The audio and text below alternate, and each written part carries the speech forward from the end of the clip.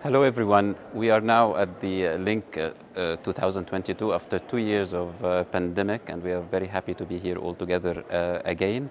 We just finished now the symposium of Cerenovus about uh, tough clots which was very very interesting and about the Nimbus device and I shared the um, symposium with Pasquale who is here and we know that the advances of the in-stroke treatment has got a lot, a lot, much, much better now and a lot of innovations, but there's still some failure of uh, uh, recanalizing the arteries. So you presented um, today um, the challenges that we have. If you can tell me more about it, please.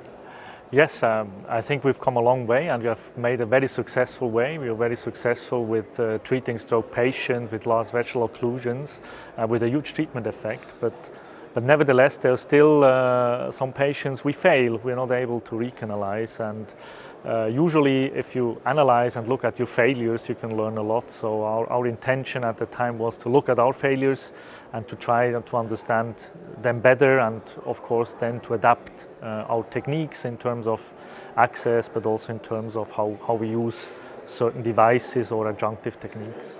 And uh, what, what do you think the reason of the failed recanalization of the problem with the tough clots in general? So, so in general, for the, the failed cases, I think the, the, the, the, problems are manifold. So there are different features you have to take into account, like the occlusion pattern or um, whether it's anterior or posterior circulation. Um, of course, the anatomy is very important, extracranial access anatomy, but also intracranial anatomy and also stroke etiology. And last but, but, but not least, of course, it's also the clot that plays an important role. We know that there are certain clot compositions that are easier to extract with certain techniques than, than, than with others and uh, the other way around. Great. And why do you think that the Nimbus works well with tough clots? In what way it is different than other stent retrievers that we have already?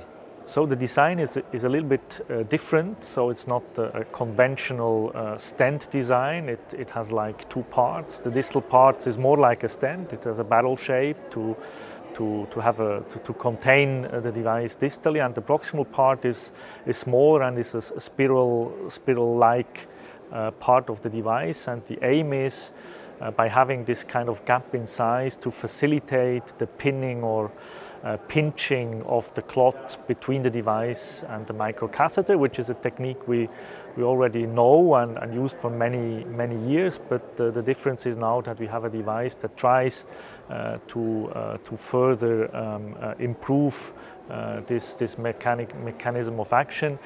And we currently use it in, in, in, in the situations as a, where we have not achieved anything, where, where we really fail, so the true thrombectomy failures, and we have quite good results in this regard.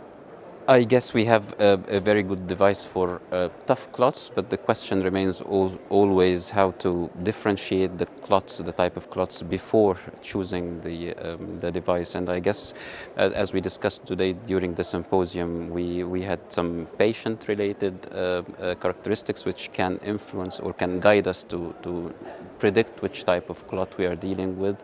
There are also some uh, imaging uh, that can help us uh, uh, doing this. And and at the same time, it's, it's the practice in the angio suite, how you feel the clot and how you see um, the resistance when you're going through the clot and everything. And I guess this is a very, very important point to choose the right device which will deal with the tough clots. And uh, uh, I guess more research would be very interesting on, on, on defining the, the clot type before getting into um, the angio suite. I, I absolutely agree, and, and I know you're also using uh, the Nimbus. So, do you have any any other indications, or also, do you also use it as a first pass device, for example? We only use it at the moment as kind of a rescue device. So, what is your opinion on that? I, I think it's a it's a very interesting point because when I started using the Nimbus at the beginning, I was using it as a rescue device, but uh, uh, it, it's a well-designed uh, stent retriever, and if if I have a doubt or I can predict for a, a specific patient that the clot is a, a, tough one, so I use it as a first uh, uh, line of treatment. And, and I had really uh, interesting results that I even showed them today uh, during the symposium with the TICI uh, 3 from uh, after the first pass. So yeah, I guess the, it works well when we think that the clot will be a tough one. Thank you so much. It was a pleasure discussing with you in the symposium and, uh, and with the LINNC today. Thank you too. Also a pleasure from my side.